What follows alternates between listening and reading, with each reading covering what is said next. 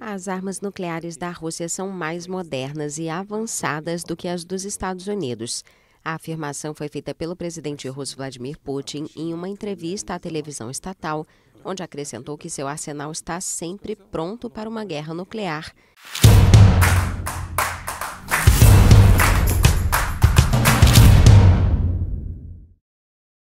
Vamos entrar direto no assunto já? Para a gente já, Bora. quem está querendo acompanhar, depois a gente começa a bater papo das outras coisas. Embora. Eu queria mostrar primeiro, é isso aí. Putin disse é que. É da Rússia, live, né? É o tema da live. Putin disse que a Rússia está pronta para a guerra nuclear e alerta Estados Unidos sobre interferência na Ucrânia. O que está acontecendo? Pode passando os slides aí, Alves, por favor.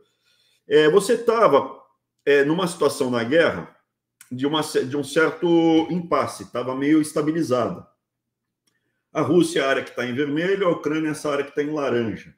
E a Rússia conseguiu ter uma vitória importante onde está essa seta lateral, não a de cima, a seta lateral, é, que é a parte de Donbass. É, desculpa a pronúncia, não, não sei pronunciar direito, né? mas teve uma vitória importante e agora está expandindo à frente e ocupando essa área toda. Qual é a próxima etapa? A Rússia vai tentar ocupar toda essa área que fica entre a Crimeia e a Rússia, e o limite é esse rio que passa por Kiev, que é Kiev, né? Que é o Dnieper, tá? O nome do rio é Dnieper, não é o Volga, o Volga é lá para outro lado, tá? O Volga fica lá no Mar Cáspio. Esse daí vai dar no Rio Negro. Então, na primeira etapa é pegar essa essa metade da Ucrânia que fica aí dividida pelo rio, mas ele vai tentar pegar a Ucrânia inteira. E é isso que eles agora vão tentar negociar. O que, que o Ocidente, a Europa, vai tentar negociar? Ou para que seja estabelecida essa linha vermelha, incluindo a última vitória de Donbass, né?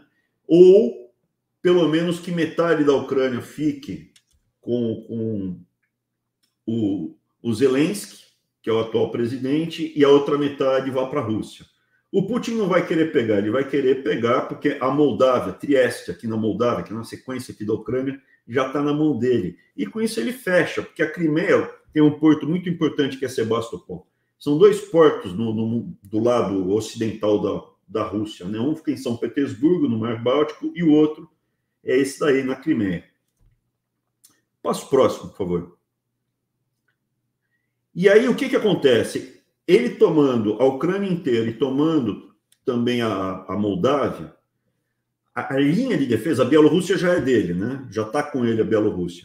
A linha de defesa da Rússia, a Rússia sempre trabalhou com espaços, né? Ela sempre tem que ter um espaço para as tropas inimigas chegarem a Moscou. Ela trabalha muito assim, quantidade de pessoas que ela manda, muitos homens, muitos soldados para a guerra, geralmente infantaria, porque ela tem pouca marinha, por razões geográficas, ela tem pouca marinha, sempre foi o forte, foi a infantaria, desde sempre, desde o Napoleão, sempre foi infantaria o forte da Rússia, e aí a, a linha de vermelha fica aí. Esse círculo que tem em vermelho, depois da linha, é um pedaço da Rússia que ficou na mão da Rússia. Isso daí era, era, era, era um, antes da Primeira Guerra, antes da Segunda Guerra Mundial, na Primeira Guerra Mundial, o, a, a, Alemanha ia para todo o Mar Báltico, a Polônia não tinha, né? Não tinha. Daí não tinha Polônia. Daí você deu independência para a Polônia e deu uma saída para o mar, que é Gdynia Gdansk. E aí sobrou um pedacinho de Alemanha, onde está esse círculo aí. Era um pouquinho maior, que a Polônia pegou um pedaço, a Rússia ficou com outro pedaço, tá? Mas o que eu acho que vai acontecer? É, a pressão que a Rússia vai botar na Europa não é o principal, não é aí que eles querem. Se eles conseguirem estabelecer essa linha, o máximo que eles vão tentar reocupar vão ser os países é, bálticos, que é Letônia, Estônia e Lituânia, onde está a linha amarela aqui em cima. A de baixo, eu acho que é simplesmente para pegar a Moldávia. Fechou isso daqui, ele estabiliza. Ele, eu acho que ele não vai querer tomar Polônia. Tá? A minha opinião. Não é aí o próximo movimento. Daqui, quais seriam os próximos movimentos? Ele estabiliza essa linha vermelha, talvez ele pegue esses países, Letônia, Estônia e Lituânia. Tem países aí desses países, são populações muito pequenas e alguns deles têm tipo 50%, 60% de russos que foram morar para lá durante a União Soviética, é mais que a população vai original, nativa. Então pode ser que ele pleiteie pegar de volta um país desse e isso vai gerando estresse. Ele vai botar pilha na Europa, mas o plano principal, presta atenção, não é na Europa. O plano principal, põe o próximo, por favor. O plano principal é assustar, assim, a Europa, ela ficou assustada, estou assustando a Europa, né? então olhando o mundo de cima, você vê, ele está vindo ali da Ucrânia e, e, e lateralmente ali nos países bálticos. E aí deixa Alemanha, França, Polônia, Dinamarca, todo mundo fica apavorado ali. Né? O pessoal sabe como é a Rússia. E os Estados Unidos? Os Estados Unidos está lá do outro lado. E o que tem acontecido há muito tempo é que na OTAN, a organização do, do Tratado do Atlântico Norte, né, Estados Unidos gastam um buzilhão de dinheiro com arma e a Europa não gasta nada. O que, que aconteceu recentemente? O Donald Trump falou: olha, se a Rússia invadir um país da OTAN que não estiver cumprindo a cota mínima de gasto com arma, 2, 3% do PIB, a gente não vai reagir.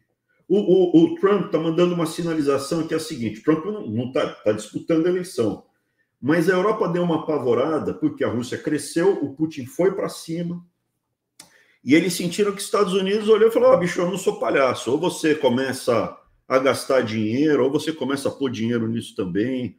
Assim envolveu, é problema teu. Eu estou muito mais longe do, do, do, do, do maluco aí do que vocês. Eu não a minha vida segue aqui no, nos Estados Unidos, isso deu uma apavorada.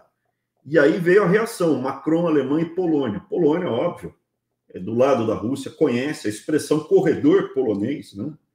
Ficar espremido entre a Alemanha e a Rússia, daí que vem, né? Passar no meio da Alemanha e da Rússia é o fim do mundo. É, a própria Alemanha e a França estão bem, bem preocupados e começaram. Não só os três, vários outros países estão gastando bastante agora com armamento e se reequipando e estão cogitando mandar não somente equipamento, que eles já estão mandando equipamento para a Ucrânia, mas mandar tropas de apoio, ainda não mandar linha de frente. E se eles mandarem tropas de apoio, não vai ter guerra nuclear. Não vai ter guerra nuclear. Passo próximo. Por quê? O objetivo é dar uma assustada no Ocidente, mas o principal, uma vez estabilizado na Europa, a Ucrânia, o Norte, o que, a Rússia vai tentar fazer? Óbvio, ela vai tentar fechar a área de influência dela, que ela já tem. Ela já tem uma área de influência. Síria, Iraque, Irã, os xiitas, né? Síria, as maiorias xiitas. No Iraque, na Síria e no Irã, são alinhadas há muito tempo com a Rússia. E você tem um espaço todo que era de influência da Rússia, e eles perderam relevância. Cazaquistão, Quirguistão, Uzbequistão, todos esses países aí do miolo da Ásia e principalmente no Cáucaso. Em cima da Turquia tem a primeira seta laranja, eles vão tentar pegar esses blocos. Por quê? Porque todo gasoduto, todo comércio de gás e petróleo e tudo passa por aí. E aí fica na mão do Putin. Esse que é o desenho. E principalmente, se você fechar esse gap aqui com gasoduto, passa o próximo. Olha como fica. Você está tendo conflito Israel, mas veja, no Egito, canal de Suez, lembra do, das rotas de comércio? Não no último vai entrar o seu filtro, no anterior. Quem não viu, veja a explicação que a guerra toda se dá ao redor de rotas de comércio, suprimento, abastecimento, recursos vitais para manter, para manter as nações funcionando, alimento, energia, minérios. Muito bem, o Egito já está na mão da China. Financeiramente, o Egito construiu, pesquise, o Egito construiu uma nova capital para 6 milhões de habitantes é a nova capital administrativa, e tem mais dois ou três projetos em andamento. A China financiou tudo. O Egito está super alavancado, está quebrado, na mão da China. Ele recebe, eu acho, 3 ou 4 bilhões de dólares por ano dos Estados Unidos. Mas a China deu muito mais de financiamento e empréstimo. Então, eles estão hoje na mão da China. Quem construiu a nova capital é tudo China. China, canal de Suez. E, se não for aqui no canal de Suez, porque estamos falando em fechar. A China não quer passar, ela quer, se necessário, fechar o canal de Suez. Você fecha o, a rota para o Ocidente, Europa da Ásia, através do, do, do da, da, saída do Mar Vermelho, em Djibouti. Porque ali você tem outro grande, no Iêmen, do lado da Península Arábica, outro grande grupo de xiitas que estão alinhados com o Irã, com a Rússia, e em Djibouti você tem um, uma base naval da Marinha de Guerra Chinesa, comprada, oficial, está tudo certinho. E você tem também grupos piratas nesses países aí que estão, que faliram, né, Somálias, etc. e tal, que, meu, trabalham debaixo da bandeira da, da proteção chinesa, russa, vai lá e ataca os navios, pega os navios, detona os navios. Essa rota pode ser fechada rapidamente, já tem sido. A rota já tem sido ameaçada nos últimos anos. E isso vai aumentar. Por quê? Veja, o próximo, por favor.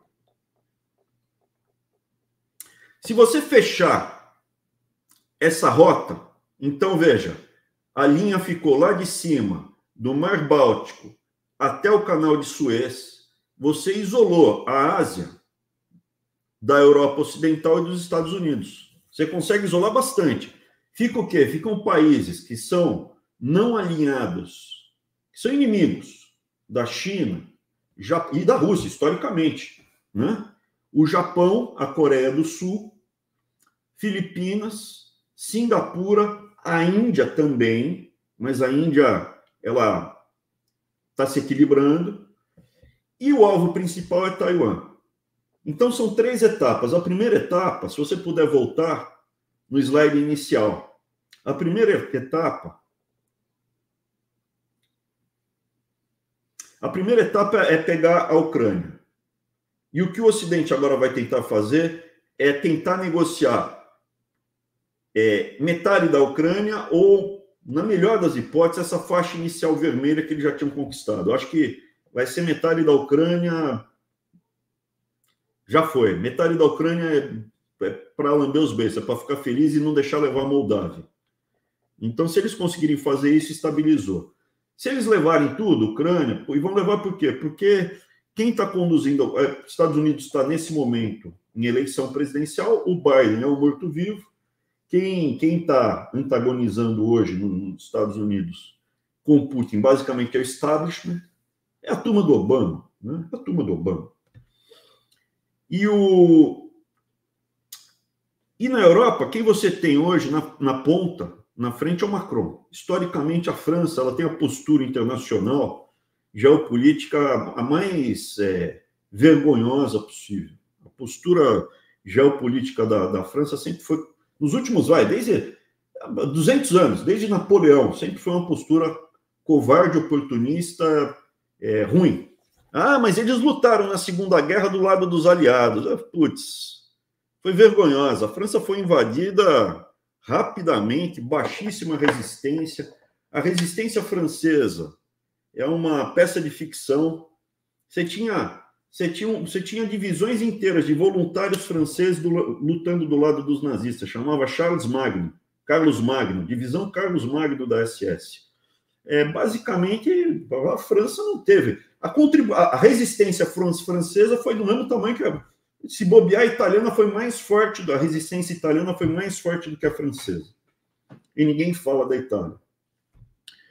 Mas voltando, então, assim, eu não boto ficha no Macron, eu não boto ficha que a França vai quebrar o ciclo de 200 anos de postura lambisgoia geopolítica. Eu continuo apostando que eles vão ser fracos.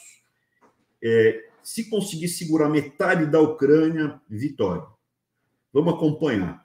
Se fechar isso, eles vão continuar botando pressão. Se fechar metade da Ucrânia, o Putin vai continuar botando pressão em cima do resto da Ucrânia, tentando desestabilizar, e eu acho vai começar a falar em pegar um país do Báltico. Vai começar, eu acho, pela. É, não é pela Lituânia, Estônia ou Letônia, tá? Ou a Estônia ou a Letônia, na minha opinião. Eu agora não me lembro de cabeça qual dos dois tem uma, um percentual maior de russos étnicos que falam russos morando lá. E ele vai fazer a mesma coisa que ele fez, fez na Ucrânia. Vai falar: ó, a população russa quer é, se aliar, se juntar, se unir à Rússia, como a Bielorrússia já está unido com a Rússia. E vão fazer um plebiscito e vai começar a fazer o que ele fez na Ucrânia. Esse é o jogo, na minha opinião. Botando pressão na Europa, tira o foco e eles fecham aquela. Põe o segundo, por favor. eles fecham essa linha vermelha, centraliza a Europa e aí você isola as resistências na Ásia. Qual é o interessante? Não é que Rússia e China vão estar isoladas nessa parte do globo. Passa mais um, por favor. É o Europa e a América do Norte é que vão ficar isoladas nessa parte do globo, porque a África está muito na mão da China e a América do Sul também está muito na mão da China. Então, basicamente, o mundo livre vai ficar nessa foto aqui que você está vendo.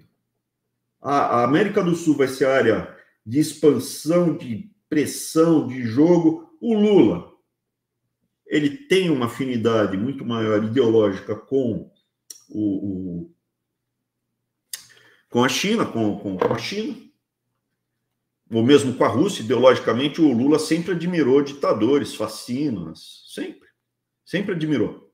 Sempre elogiou. Não foi só o Hitler, não. Elogiou um monte, Gaddafi, Assad, tudo que é. O Saddam Hussein eu acho que não, mas o Ahmadinejad ele elogiou também.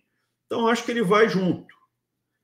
A Argentina, que é aquele que a gente falou no, no Vai Entrar Sem Filtro anterior, não no último anterior. A gente vai entrar nesse jogo da Guerra Fria, que já é quente, é uma guerra quente já. Bomba nuclear pode acontecer nesse momento? Tem mais um slide? Não.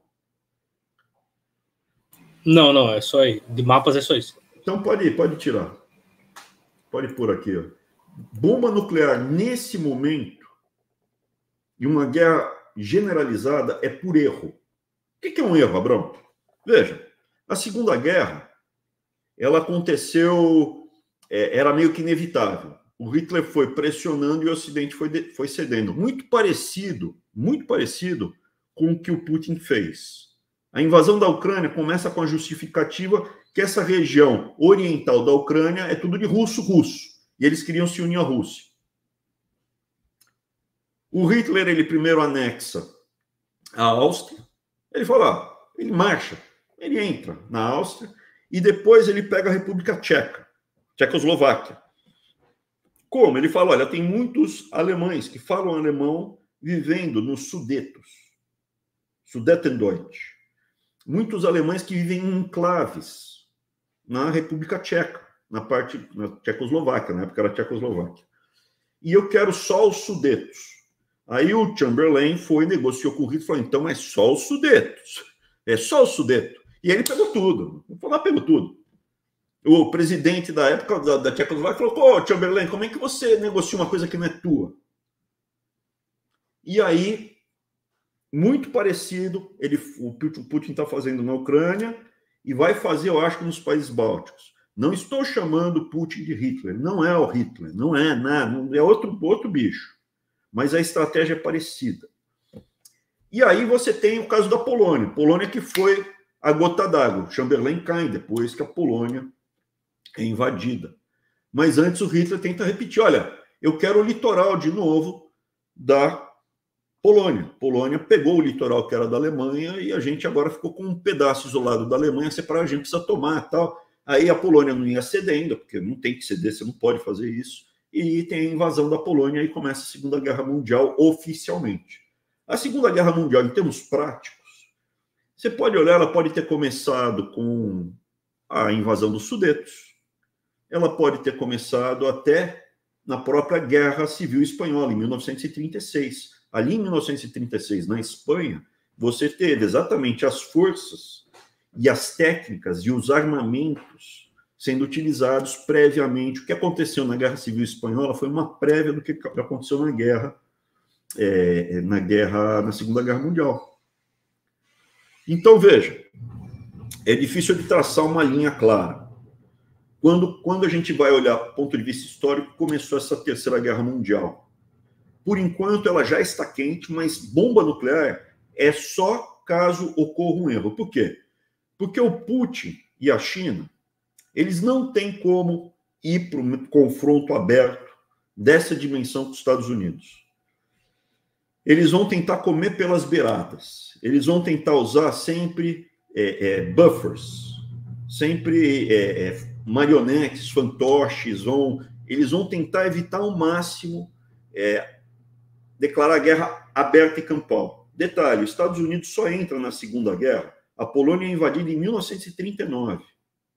Estados Unidos só entra na Segunda Guerra meados de 42. Até 1942, até Pearl Harbor, ele só dá apoio logístico para a Inglaterra, não manda tropa, não navio, não tem nada. Pessoal que fala que o Brasil entrou no, na Segunda Guerra na Xepa, é mentira. O Brasil entrou logo depois dos Estados Unidos. Tinha tropa brasileira lutando na Europa antes, eu acho que antes de, do, do, do dia D. Então, é, é, vamos voltar. O, o que, que a gente tem aqui? A gente tem um cenário hipotético onde tudo acontece de forma racional. Qual o problema? Eu vou usar um palavrão aqui, mas é o shit happens, né? De vez em quando acontece uma bobagem, uma, acontece uma. Desculpa o meu francês, acontece uma cagadinha. De vez em quando acontece. A Primeira Guerra Mundial tinha tudo para ser administrada. Da mesma vamos devagar aqui e tal, vamos panela de pressão, vai soltando, pá, de repente mataram o herdeiro do Império Austro-Húngaro. E morreu, mataram ele por um acidente, foi uma, sabe, deu azar, o cara entrou numa rua errada. Fizeram o primeiro atentado, ele escapou, ele entrou numa rua errada, o mesmo terrorista viu, foi lá com uma pistola e matou o arqueduque e, o, e, e, a, e, e a esposa dele. E aí, era uma outra época, nova, você tinha telégrafo, não deu tempo de mandar os diplomatas, os emissários. Foi muito rápido a comunicação, o que estava sendo preparado na época. Isso é, não deu tempo de voltar as coisas sob controle, porque por enquanto é uma guerra, ela está sob controle essa guerra, não tá, não, não tá, não pegou fogo. Ela é uma guerra localizada, tem focos quentes, uma guerra fria com focos quentes. Mas pode acontecer uma um shit happens, pode acontecer. Se acontecer o shit happens, daí a gente não tem previsibilidade. Exemplo histórico do shit happens que não aconteceu. Você teve a escalada dos mísseis. Estados Unidos foi e colocou míssil na Turquia mirando a Rússia. A Rússia falou: ah, meu, para com isso, tira o míssil daí. Não, não vou pôr, ele está no OTAN, Turquia está no OTAN. Ah, então vou pôr em Cuba. Aí pôs o míssil em Cuba. Aí os Estados Unidos falou: opa, calma aí. E foi escalando. E teve um momento que o submarino nuclear russo, que tinha ordem, se você submergir, tentar comunicar com, com as centrais, com a Rússia, e não tiver resposta, é porque foi evaporado. Aí você aperta os botões nucleares e o míssil vai atacar os alvos americanos estabelecidos, do submarino nuclear russo. E aconteceu com um submarino nuclear russo. O pessoal submergiu aquele equipamento todo zoado russo, ligaram os rádios, não funcionou. E os três oficiais, porque são três oficiais que tem que fazer para dar certo, né? Pra, são três que têm a chave, para evitar que um maluco aperte, no submarino são três. Então, três oficiais do submarino têm que colocar a chave e cada um, de, cada um deles colocar a chave e cada um deles apertar o botão. Só um se recusou. Falou: não, pode ser que o rádio está quebrado, não vou apertar, não vou apertar, não vou apertar. Aí foram, descobriram que estava quebrado, consertou o rádio e não apertou. E se tivesse apertado, tinha, teria ocorrido uma guerra nuclear. O que é importante a pessoa é, ter em perspectiva? Não vai ter é, tanta radioatividade quanto as pessoas é, foram apavoradas durante décadas. Não é como é, é, uma usina nuclear que arrebenta, como, como foi lá na, na, na Ucrânia mesmo, né? até hoje tem Chernobyl, ou em Fukushima, no Japão, não é, não, não é radioativo. As bombas atômicas hoje, as bombas nucleares hoje são de hidrogênio. Então você tem a destruição mas a radiação é muito pequena comparado a que foi Hiroshima e Nagasaki. É outro, é outro armamento, a destruição é gigantesca, mas se sobreviver, óbvio, vai ter nuvem de fuligem, pode ter inverno nuclear, pode dar, pode ter falta de alimento, etc. Mas a radiação é, é, não é tanto. O mundo não destrói, não queima toda a superfície, não tira o oxigênio da Terra, desaparece. Não. Não é verdade que o mundo é destruído se tiver uma guerra nuclear Óbvio, eu estou falando do, do, do, grosso dos armamentos americanos e, e, russos e chineses, né? Se tiver uma guerra nuclear lá no Paquistão com a Índia, eu acho que a bomba nuclear do Paquistão deve ser a antiga, deve dar radiação. Mas é importante ter em mente, tá?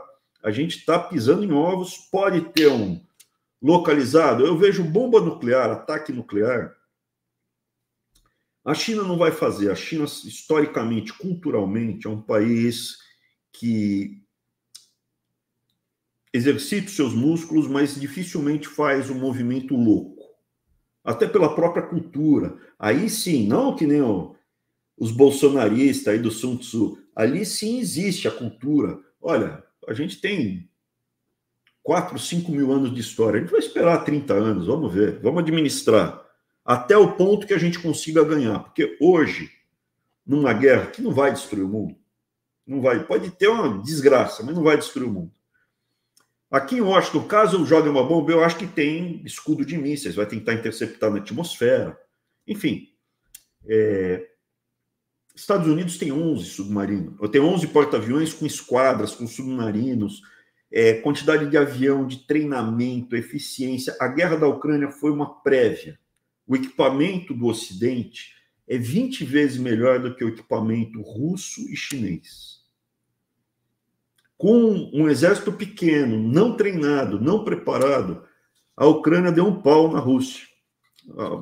A, Rússia levou um vareio, perdeu o general, perdeu. Nossa, foi muito ruim. E descobriram falhas muito graves no, no, no, no, aparato, nas Forças Armadas Russas, e estão descobrindo também na China. O que, que é? Corrupção. Então, as pessoas chegam na linha de frente e o equipamento está todo, tá todo quebrado, porque o pessoal rouba do exército russo, os generais, oficiais, roubam do exército russo tudo. É, soldado do, da OTAN, do Ocidente, ele recebe placas de cerâmica contra tiro de fuzil, é, é, para ter colete à prova, à prova de bala. O da Rússia é com chapa de metal. Só que os soldados russos mostram, a chapa de metal é de lata de metal, de comida, cara. Pô, passa você uma caneta fura. Eles mostram isso. E aí o soldado russo pede para o pai, para a mãe comprar as coisas e mandar para frente, para a linha de frente para o filho ter. Então, na Rússia é um desastre. E eles já, já perderam muitos soldados. Fazer uma outra expansão tal não, não tem não tem estômago entendeu não tem vai faltar vai faltar tropa uma coisa é ganhar da Ucrânia outra coisa é ganhar de todos esses países. A Rússia já não tem uma população tão grande como tinha no passado em termos relativos. E a China? A China também a gente não sabe qual é o grau mas o grau de corrupção da China é muito grande também. Mas que dá um exemplo. Os silos nucleares da China o que, que estão descobrindo agora? Que os líderes dos partidos roubaram pra, na compra do cimento, para construir o silo. Então, o que é o silo? Você guarda os mísseis nucleares dentro de, de, de tubos grandes enterrados no chão. Aí você abre o tubo e dispara o míssil. O silo ele é revestido todo de concreto, né? Para você manter a estrutura fixa, para conseguir lançar um foguete. É um foguete que vai para o espaço, para sair da China e para os Estados Unidos, é um foguete que vai para o espaço. Então tem que ser um silo resistente. Como eles roubaram na compra de cimento tal. Não, dá para lançar, o míssil está dentro, mas não dá para tirar o, o, o míssil não consegue ser lançado do silo. Descobriram isso. Então, veja, a China tem um porta-avião moderno. A Rússia tem um porta-avião que é um pouco melhor que o brasileiro, entendeu? Pô, é, é de diesel, esquece. Levaram o pau da, da Ucrânia. Vão ganhar a guerra? Vão, mas estão ganhando a guerra para a Ucrânia um pedaço. São 30 e 35 milhões de habitantes agora, 30 milhões de habitantes, não são nem mais 40 milhões. A Ucrânia são, estamos falando de uma população cinco vezes, cinco vezes maior, quatro vezes maior, quatro vezes maior, né? 140, né? Então, assim, é muito mais rico, muito maior, se prepararam, levaram, levaram pau, não era para ter tido tanta resistência da Ucrânia. O Putin achou que seria um passeio, não foi ele vai provavelmente caminhar nessa estratégia, que foi igual, que é normal, a do Hitler. Olha, eu vou botando pressão, vou apertando, vou e vou ganhando espaço, terreno, tempo para recuperar, tempo para reconstruir os tanques que foram destruídos, ou para reparar os que foram variados. Ele está praticamente sem tanque hoje, a Rússia. E esquentou, ameaçou. Mas pode ter uma bobagem, uma burrada? Pode. Sempre pode ter uma burrada uma bobagem. Eu não acredito que vai acontecer guerra nuclear. mas tem que acompanhar, tá? Que bobagem pode acontecer? Uma eleição agora nos Estados Unidos, o presidente Biden que está gagá, sei lá, é burrada, é um erro. Como foi a Primeira Guerra Mundial. Começou por um erro, um acidente, um atentado que acabou acontecendo por um erro. Se você pegar, você lê como foi, ia até a Primeira Guerra Mundial? Ia. Mas ela não teria sido como foi. Provavelmente seria por etapas, né? gradualmente. Né? Tem um, um evento aqui, outro ali, vai acomodando, vai encaixando, e você vai negociando gradualmente. Na Segunda Guerra Mundial, o Hitler estava com uma postura muito voraz. Muito mais. Então ali ele foi testando, ele achou que era todo mundo muito fraco, e era mesmo. A França, fraquíssima, o Chamberlain, fraquíssimo. O que ele não podia contar era com Churchill. Tá bom? Então, esse é o desenho atual. Hoje eu acho que o Macron é fraquíssimo.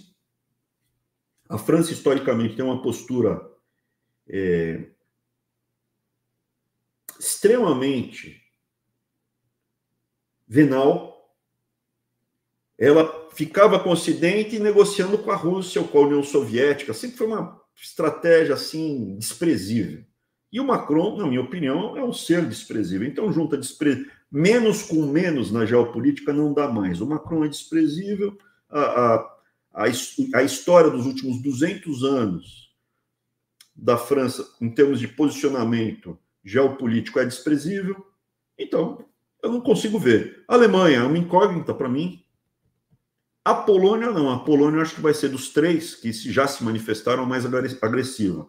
Não despreze a participação de outros países pequenos. A Finlândia, olho arregalado, mas é país pequeno, 4 milhões de habitantes, mas vai, vai juntando. A Noruega já está pondo dinheiro, pondo dinheiro para valer. Então, tem alguns países ali que já se, estão se mobilizando para valer, para enfrentar, é, é, tentar segurar. Mas eu não acredito que o Putin vá querer tomar a Europa. O foco dele é fechar para o sul, se alinhar com a China e aí consolidar, e estrangulando o mundo livre. Essa é a minha visão. Quer mostrar aí os vídeos, Elvis? Opa, boa, legal para sintetizar um pouco do que você falou aí. Vou colocar aqui primeiro do do pessoal que se reuniu, o presidente da França, o pessoal da Alemanha e da Polônia. O presidente francês Emmanuel Macron afirmou nesta sexta-feira que França, Alemanha e Polônia permanecem unidas para impedir uma vitória da Rússia na guerra contra a Ucrânia. A declaração ocorreu durante o um encontro em Berlim com o chanceler alemão Olaf Scholz e com o primeiro-ministro polonês Donald Tusk.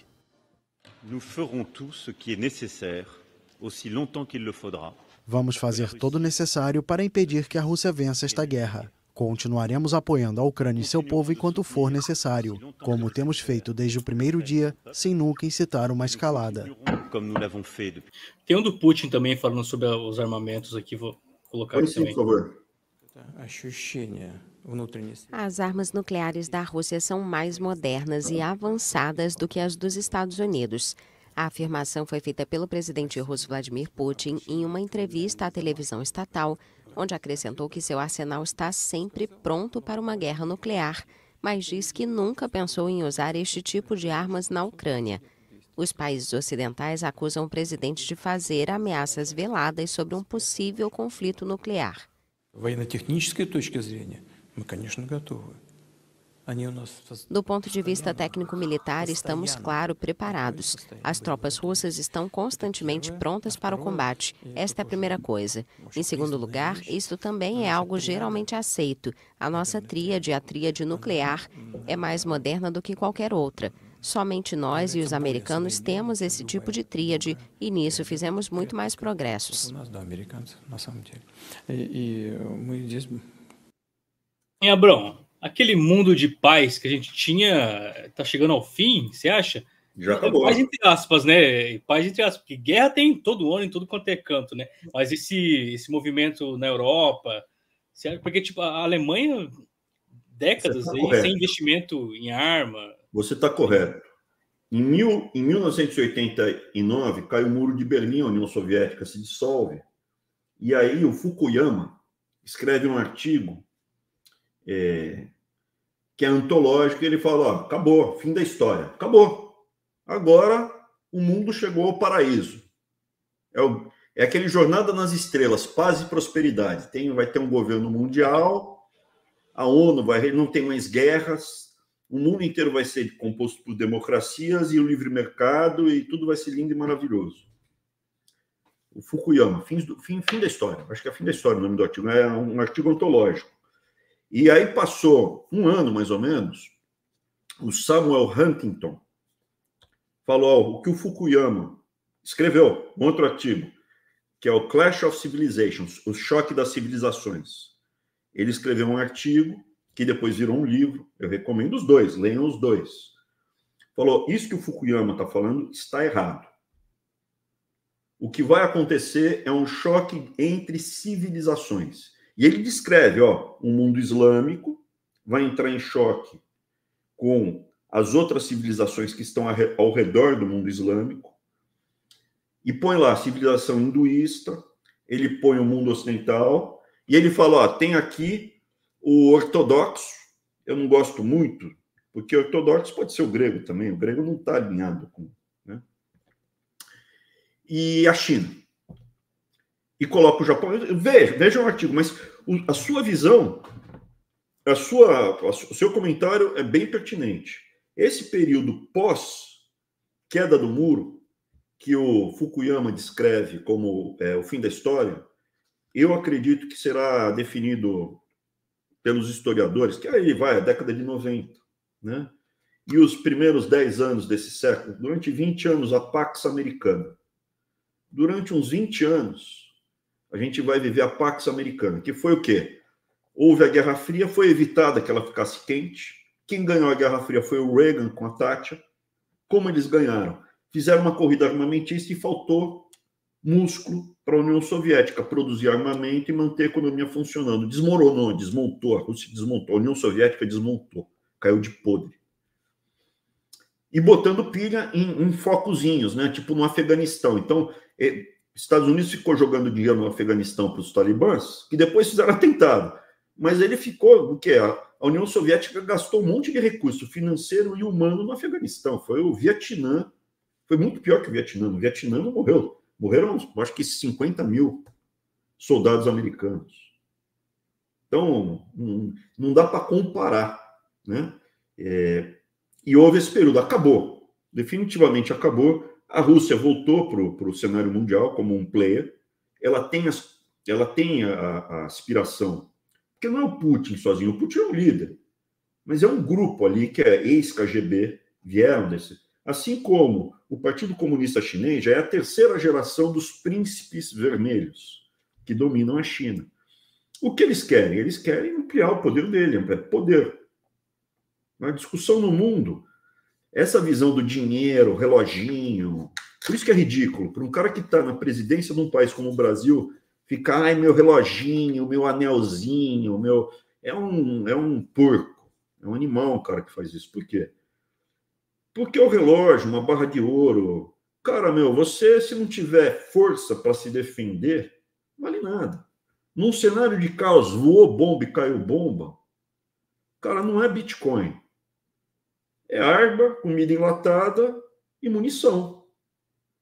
Arma, munição, comida enlatada e vai talvez umas moedinhas de ouro, no máximo. Esse é o cenário. Então, o papel de um líder é preparar a nação a qual ele lidera, primeiro para prosperar em paz, porque afinal de contas tem que ser um líder positivo, não pode ser um fascínio. O Adolf Hitler ele tinha outra visão, né? o espaço vital, vamos pegar né? o Putin, Xi Jinping. Um líder positivo é o seguinte: a nossa nação vai prosperar pelo trabalho, tentando prosperar em harmonia com os outros povos, com as outras nações. E a gente tem que estar preparado para o mal também. Se você quer paz, prepara-se para a guerra. Esse é o ditado romano. Se você quer paz, você tem que estar preparado para a guerra. Aqui nos Estados Unidos é, um, é, um, é, é uma, é uma experiência antropológica. Você vai ao clube de tiro, eu sou um atirador. Você vai ao clube de tiro, eu sou sócio de um clube de tiro, então eu vou com alguma frequência. Eu devo ir umas duas, duas vezes pelo menos, duas. Eu vou umas 100 vezes por ano, vai, umas duas a três vezes por mês, só que tem períodos que eu viajo, estou indo para o Brasil, inclusive, tá? E depois a gente fala sobre isso. Você chega no stand de tiro, tem velhinha, uma senhorinha, vovozinha, cara, uma senhora de 50 anos, 60 anos, 70 anos. A Dani vai ficar brava porque eu falei uma senhorinha, uma vovozinha de 50 anos, ela vai ficar brava porque ela tem 50 anos. Mas é. Mas é. É você vê, pô, não é possível, você não sabe quem está armado e quem não está. E, e quem já atirou, quem atira, sabe que mão boa para acertar no alvo, hum, difícil de você prever. Num grupo de 50 pessoas, pô, eu estava lá no treinamento que teve para conseguir o porte aqui. A pessoa que se atirou melhor, acertava na mosca, um atrás do outro, era uma professora de 40 anos, cheinha, que nunca tinha tirado na vida. Mandava uma bala atrás da outra na mosca.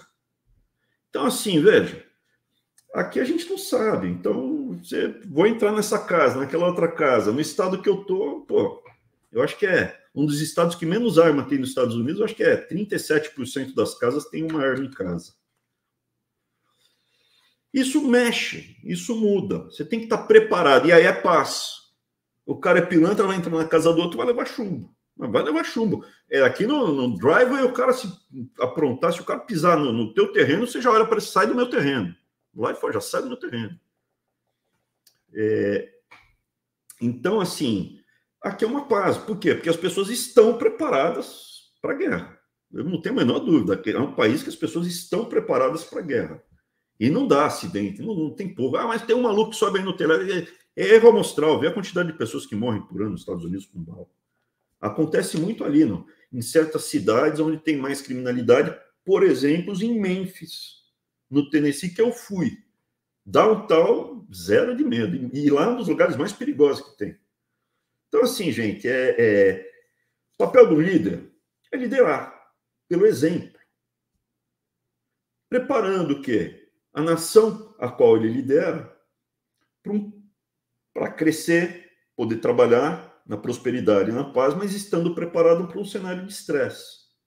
Não se guiando apenas por acordos comerciais. Para quem a gente vai vender mais soja? Cara, meu dinheiro é uma coisa efêmera.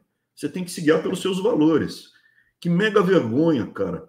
A Argentina, por exemplo, ficou muito mais próxima dos nazistas, quase foi aliada dos nazistas na Segunda Guerra Mundial. Uma vergonha.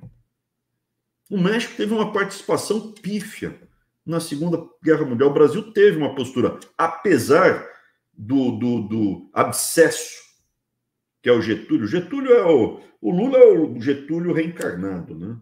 Piorado, não, reencarnação piorada. Eu não acredito em reencarnação né? mas é o, é o, o Getúlio Vargas era o mal. Apesar do Getúlio, o Brasil teve um comportamento histórico muito bom. Apesar do exército brasileiro estar tá na mão de generecas, teve um general bom que foi o general Levi. Teve um monte de. Teve. Teve um desempenho com honra. E o soldado brasileiro é tido como um soldado muito bom, humano, decente, que não estupra, não mata civil, não rouba e é corajoso. Então, assim, eu acho que um país não tem que ser como, vamos falar mal do Silvio Grimaldo, né? Porque a frase dele é antológica, não tem que ser a prostituta. Eu não, eu não acho que uma nação tem que ser prostituta, eu não acho que as pessoas têm que se prostituir. E é pior que a prostituta que vende o corpo, é a prostituta que vende a sua alma. Então, assim, não, a gente precisa pensar só na soja que a gente vai vender. Cara, meu, pode vender soja para quem você quiser. Eles precisam comprar soja da gente. O Milley está aqui na Argentina, mandou a China pastar. Está vendendo a soja, em vez de vender diretamente, pelo mesmo preço.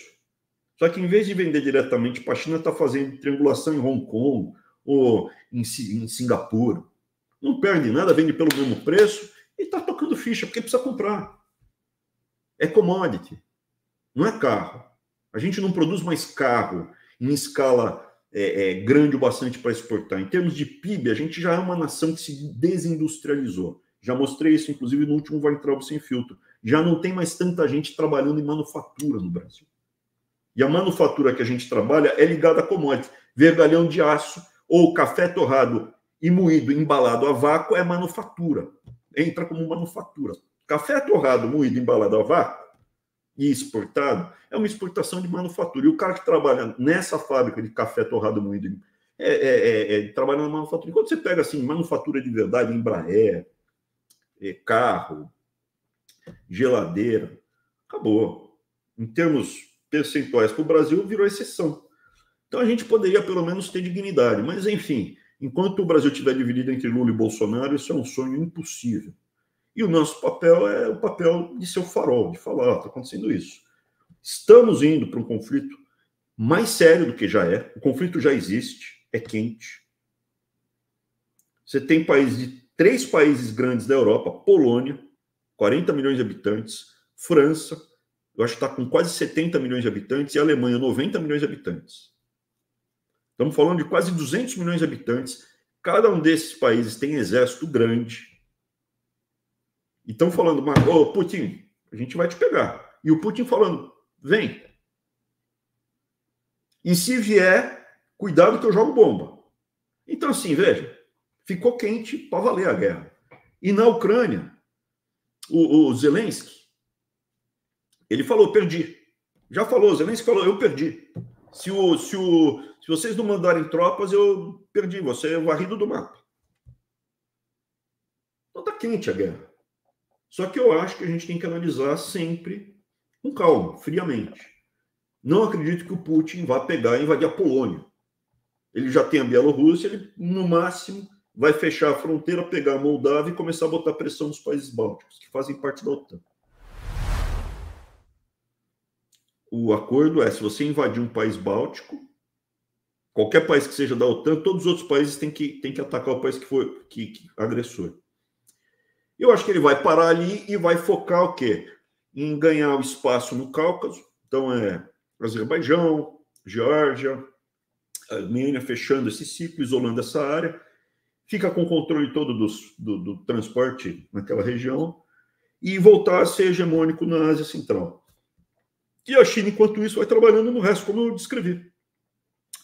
É um cenário novo para o mundo, a gente tem que estar preparado. Ok? Vamos acompanhando. Feriadão. Peguei. Vim pescar um peixinho aqui, ó. Acabei de pegar, ó. Só que por enquanto, só peixe pequenininho. Vamos ver se mais para frente a gente pega o maior. Voltei da pescaria, tomei um banhão e refletindo. Cada peixe a sua isca, pode pegar bolsonarista. Aproveitando, dado que a gente falou de relógio, próxima sexta-feira vai entrar o Sem Filtro, novo horário, às 8 horas. A gente se vê lá. Abraço.